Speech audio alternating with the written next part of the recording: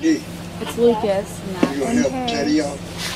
And It's nice out today. so it's it's good. We're good. The flight 93. Virginia, I mean, uh, Tyler, count to ten and hit that button back there. It was pretty sad. I mean, the people were so depressed. because it was the guy's parents. Yeah, I can't, I can't hold it up there. My arms hurt. oh, um, the. Oh yeah, the question.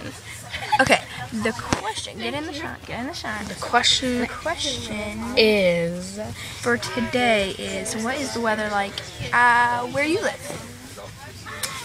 And where do you live? Do you live in another country? Do you live in the United States?